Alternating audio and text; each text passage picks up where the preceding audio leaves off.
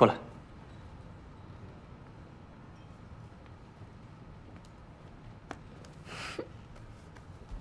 今天第一天去，感觉怎么样？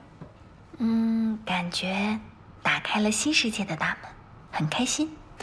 开心就好。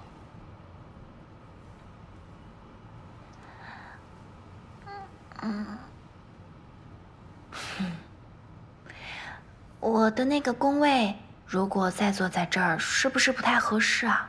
我跟杨老师说过了，在我找到新助理之前，你还要兼顾一下助理的工作。怎么，刚调职成功，就不把老板放眼里了？你去外面办公区看看，还有工位吗？那，老板大人，我就出去工作了。嗯，去吧。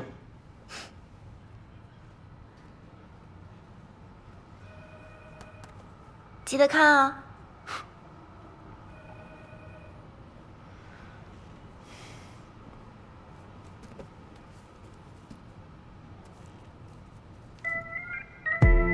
中午去吃面吧。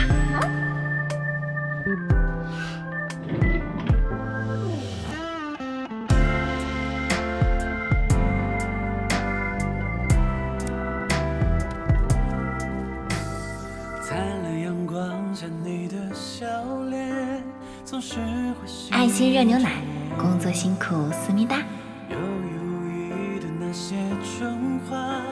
怎么说才会甜？眼泪匆匆的脚步之间，兜兜转转几遍。最美的一切，是因为你而让我改变。忘川新加入的孙老师的合同，你好发我。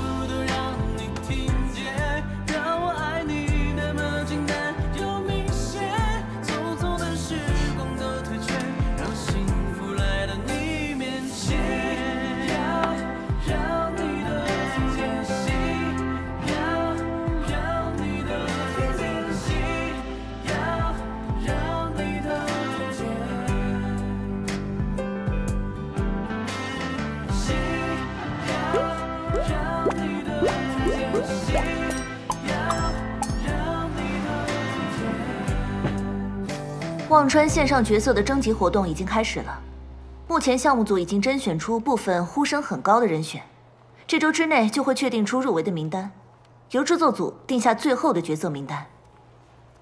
另外，宣传部门根据忘川的选角进度，规划好时间节点，做出宣传方案，有利于项目预热和造势。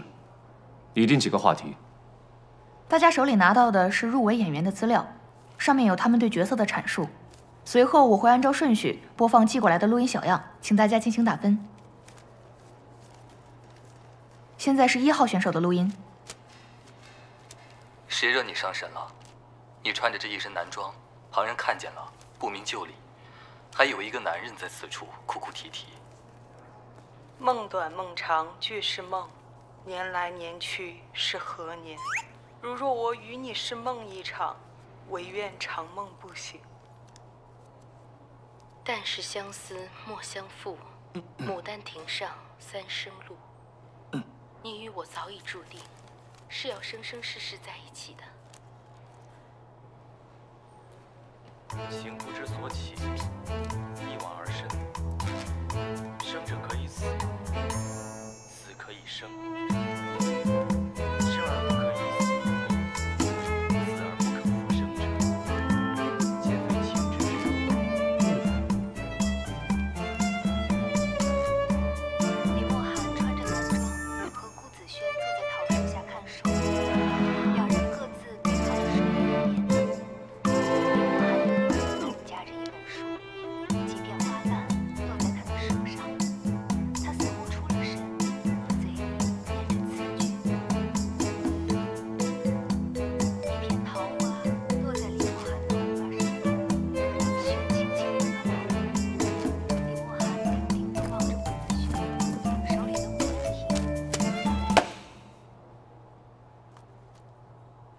我觉得可以把试音片段发给到各个负责人手里，大家各自回去听，把分数打出来之后，交给洛丽统一去管理。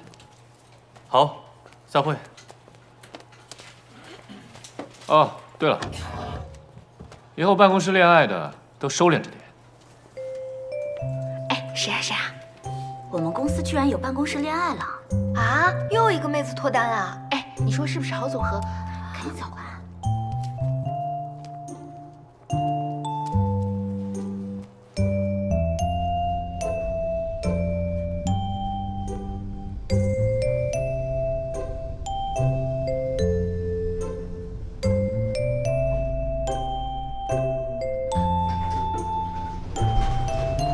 先走了，顾总。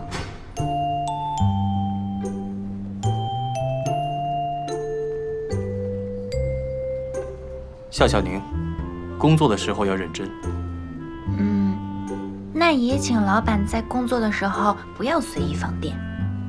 是你先偷看老板在线的。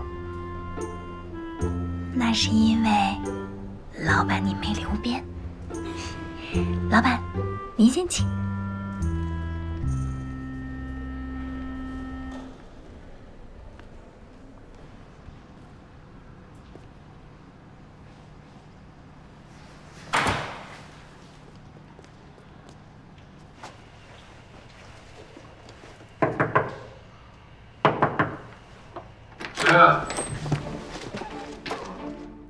你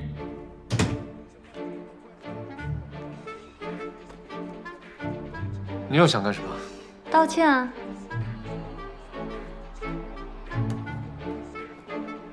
该不会又是什么阴谋吧？这个是我亲手做的便当，独此一份，尝尝吧。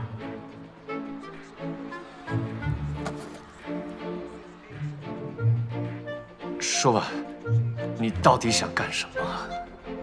行，那我就直说了。今天我来呢，有两件事儿。第一件事儿，我要给你道歉，昨天真的很抱歉，你接不接受？嗯，我当然有大量接受了。下一件，第二件事儿，我喜欢你，你接不接受？什么？